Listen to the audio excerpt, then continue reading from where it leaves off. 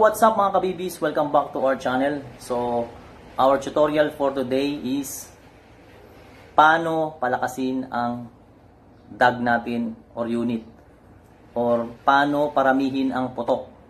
So, marami kasing nagre-request sa akin kung at marami rin nagtatanong kung bakit mahina yung dag nila, bakit sa pang-apat, pangatlo, eh mahina na yung putok ng unit nila. So, ito yung solusyon para dumagdag yung putok at lumakas yung putok ng inyong unit. So ito, ipagkukumpara natin. So meron akong dalawang, ay apat na lata rito. Apat na lata.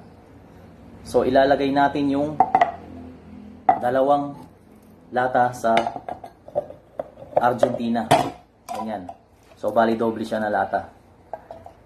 So, ito pala yung uh, technique ko. Gusto kong uh, i-share sa inyo para malaman nyo rin. Itong sinishare ko sa inyo is base sa aking experience at napatunayan ko na. So, gusto ko lang i-share sa inyo para yung may mga yung may mga katanungan na bakit mahina yung dag nila. So, ito yung solusyon. So, papakita ko muna sa inyo ano ang mga gamit ko. So, ito kukunin ko muna siya. So, ito mainit-init pa. Tapos yung isa kukunin ko rin. Dito tayo sa loob. So, ayan. So, ito yung gamit ko mga kabibis.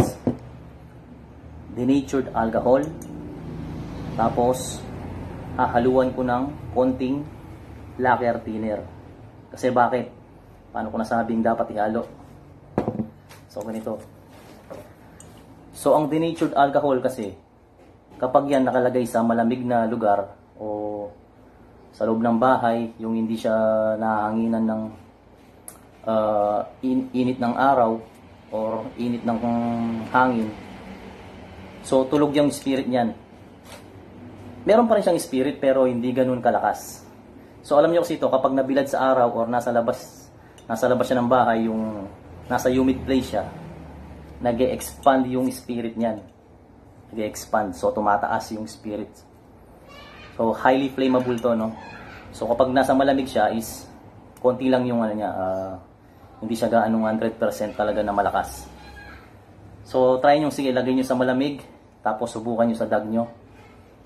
Uh, lalo na pag gabi, subukan nyo sa dag nyo.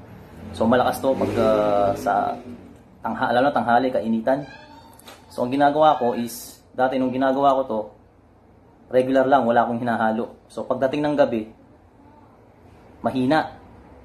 So mahina siya, no? Tapos, nung hinaluan ko nito, lacquer thinner, konti. Ito naman, lacquer thinner, pampatapang ito. Kahit sa gabi, pwede mo nang gamitin ito. Pwede mo na siyang gamitin, paputokin. Ganun pa rin yung putok niya. So ito, lacquer thinner, pinapatapang niya yung spirit nito. So, nag-expand.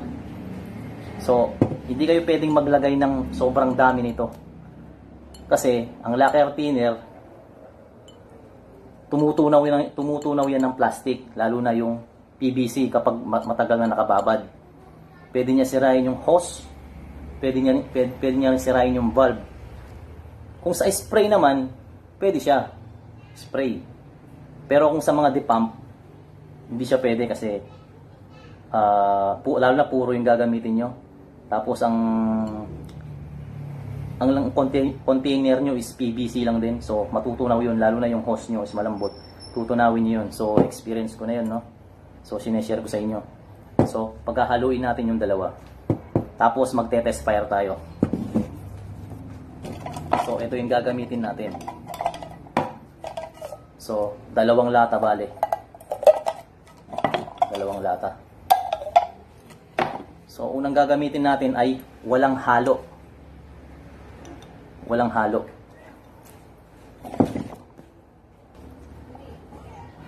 So, ito na mga kabibis, no? So, itong pula, lalagyan natin ito.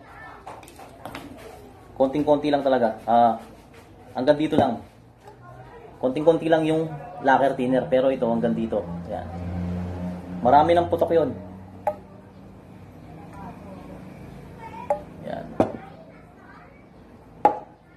So ito walang halo no. Hindi natin haluan ng lacquer thinner. Pero yung isa, orange, may halo ng lacquer thinner, haluan natin. So yan, dito yan.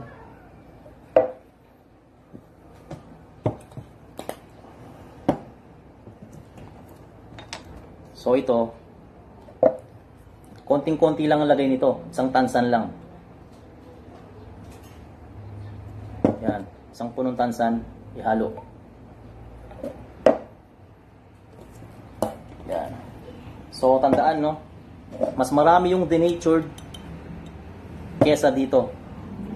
Huwag kayong gagamit ng puro nito sa mga gumagamit ng depump. Sinasabi ko sa inyo, ah, masisira yung ball valve nyo. Pwede nyo ika-disgrasya. So lahat ng mga sinasabi ko sa inyo is na-experience ko na kaya gusto kong i-share sa inyo. So ngayon magte-test fire tayo. Itong dalawang lata, yan.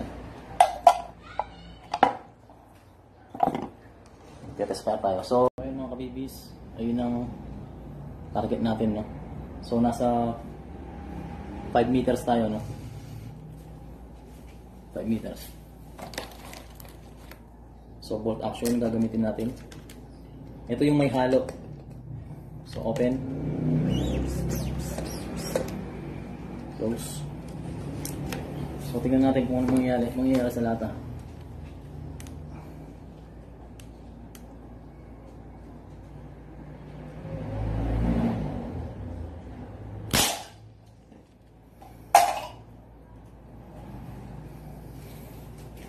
So yun, tinamaan siya. So kukunin ko lang.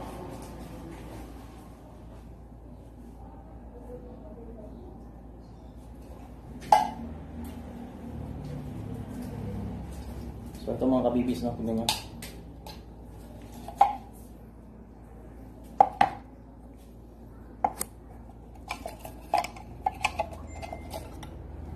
So ito, ito yung tama niya.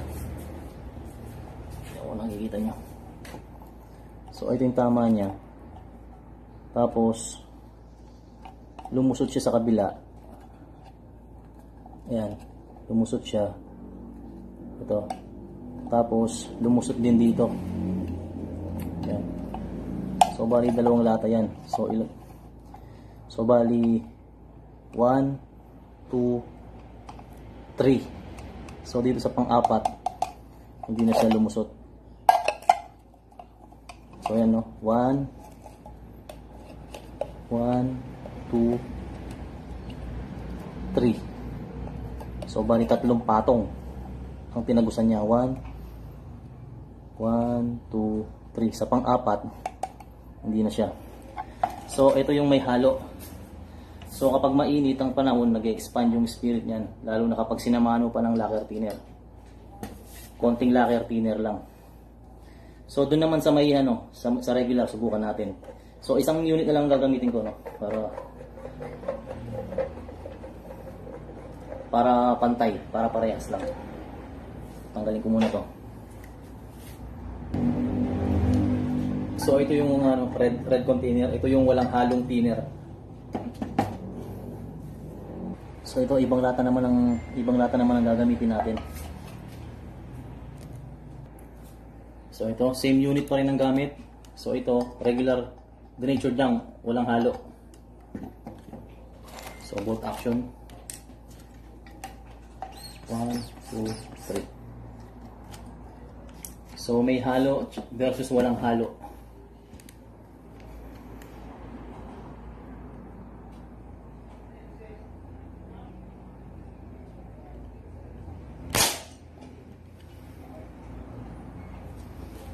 Yun, tinamaan siya. So kukunin ko lang.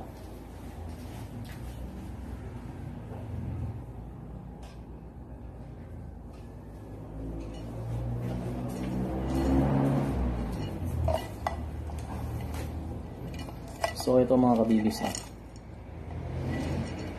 So ito yung butas niya, sentro. Tapos sentro yun. Tapos dito sa pangalawa, Ayan, butas, butas siya. Pero hindi siya pumasok dun sa pangatlo. So, bali, bali ganyan yan. 1, 2. Sa pangatlo, wala. Sa pangatlo, wala siya. So ayan, so ayan difference ng dalawa sa isang sa isang unit lang. So yung may halo tsaka yung walang halo. So yung may halo, yung orange na container, so tinagusan niya tatlong tatlong patong. So 1 2 3. So ito 'yun.